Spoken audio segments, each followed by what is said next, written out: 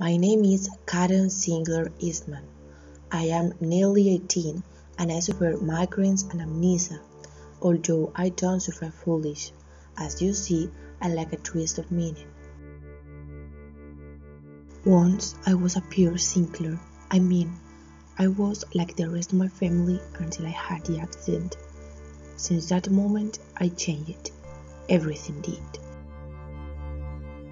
The Sinclair family is blonde and white, also very rich and respected by the high society.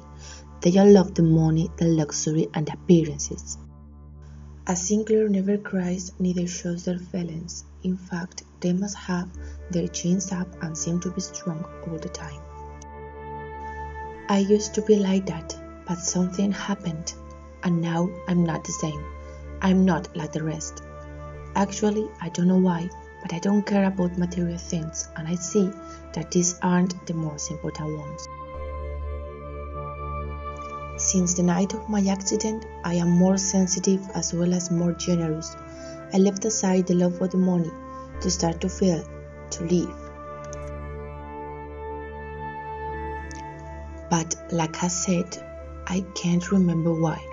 All I know is that that night I finished in the beach half naked and with a strong blow in the head. And this is all. Was it a robbery? Was I a victim of a rape? Or maybe my family wanted to make me disappear. I just can't remind. My name is Karen Sinclair and I need your help to remember.